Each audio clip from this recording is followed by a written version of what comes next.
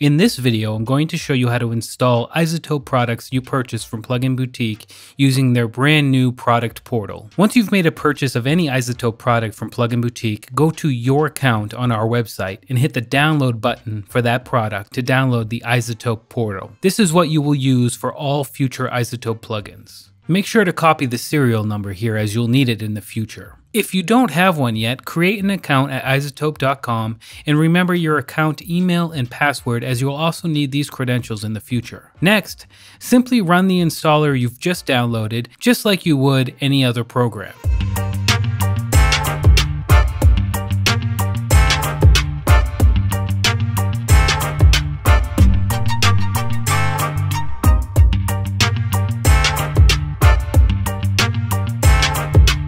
After the successful install, log in using your izotope.com credentials. Then click the Add Serial Number button at the top right of the window next to the gear icon. This is where you'll place the serial number from your Plugin Boutique account.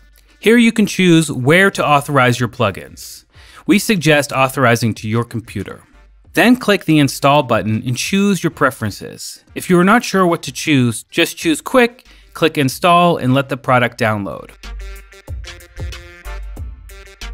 After the download has completed, you may be prompted again to choose between Easy or Custom Install. If you are unsure, just choose Easy.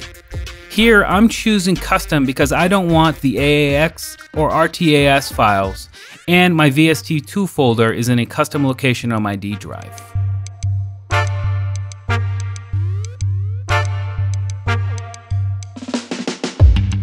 And that's it. Launch your DAW and your iZotope products will be in there. If you are still unsure about the installation process, click the link in the video description for fully written instructions on our website.